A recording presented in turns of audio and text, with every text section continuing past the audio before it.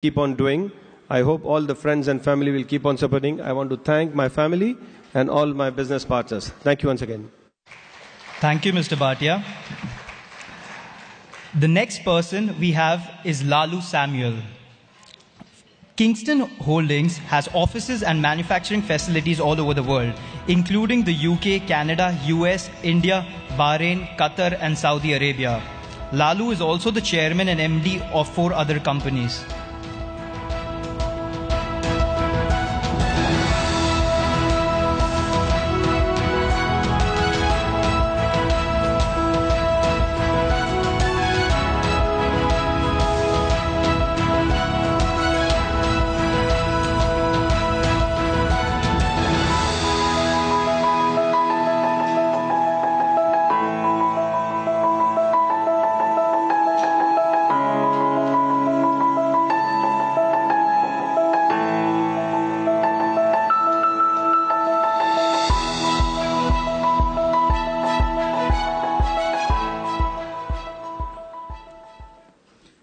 Thank you, Forbes Middle East.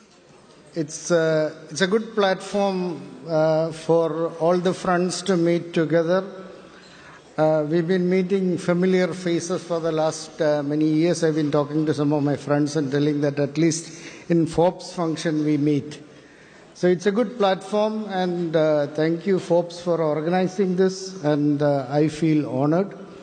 It's a great honor, and uh, always it is good to be recognized uh, when you are uh, wh- when you reach a certain position, when you are successful, and when someone is recognizing you. It's a good uh, feeling what you get.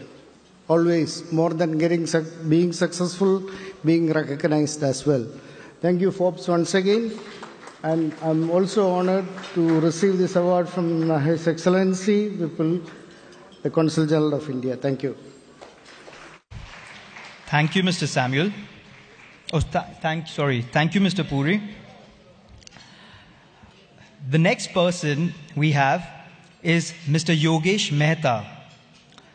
Yogesh established Petrochem Middle East in 1995. It has since grown to become the largest independent petrochemical distributor in the Middle East.